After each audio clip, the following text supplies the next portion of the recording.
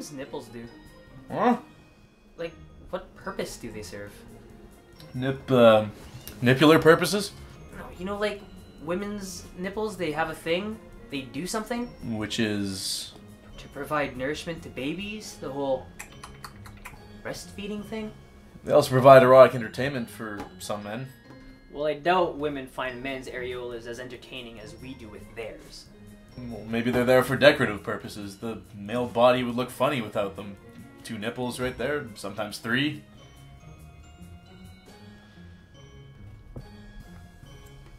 Oh no, not not me. I I know a guy though. Piercings on all three.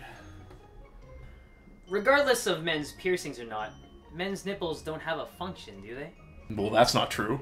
Poppycock. No, it's it's true. Like women, uh, there have been cases of men who have been able to lactate.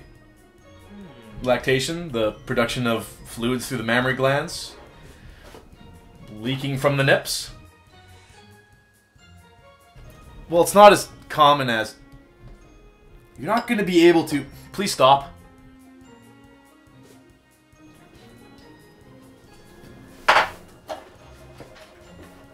Here, if it does happen, I don't want to clean up a mess.